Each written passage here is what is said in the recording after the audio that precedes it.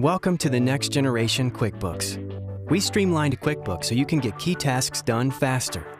All of the features you love are still here.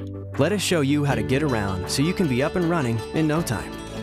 Let's start with the new QuickBooks homepage.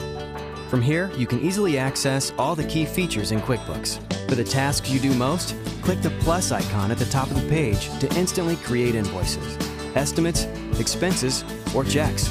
Click Show More to select even more options. And quickly find recent transactions by clicking the clock icon. Go to Transactions on the left to do your banking. See detailed sales and expenses and print checks. To manage your company details, just click on the Settings gear. Here you can manage settings, users, lists, and products and services.